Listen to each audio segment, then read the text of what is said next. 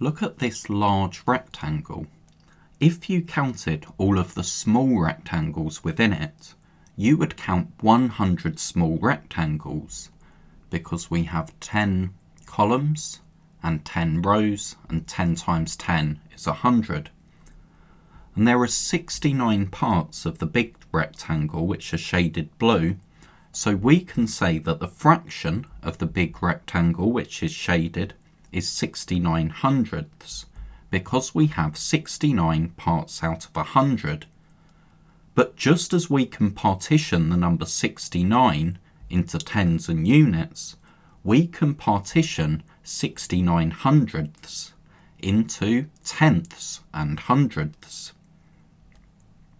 If we look at this area here, we can see that we have the same as 6 tenths because 6 columns out of 10 are coloured blue. And we still have 9 of these smaller rectangles, so we have 9 hundredths. So 69 hundredths is the same as 6 tenths plus 9 hundredths. So we have the equal sign here to show that they're equal. Now we can do the same with 44 hundredths. We really have 4 tenths and then another 4 hundredths. So what is 85 hundredths partitioned into tenths and hundredths?